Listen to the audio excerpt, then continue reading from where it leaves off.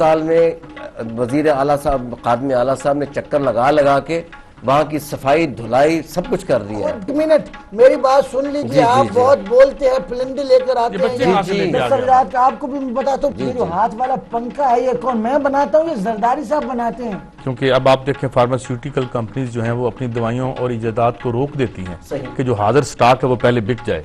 आपने बड़ी प्यारी बात चुटकी भरू में आपकी गाल पे बहुत प्यारे हैं आप आपकी इंडस्ट्री को तबाह कर रहा है आपकी यार ये इकोनॉमी को तबाह कर रहा दरमियान से टोकते मुझे। ये जो ये होस्ट है मेजबान जी, जी, जिसने जी। बनाया इनको एक आदमी को दिन में तीन दफ़ा भूख लगती है हम्म।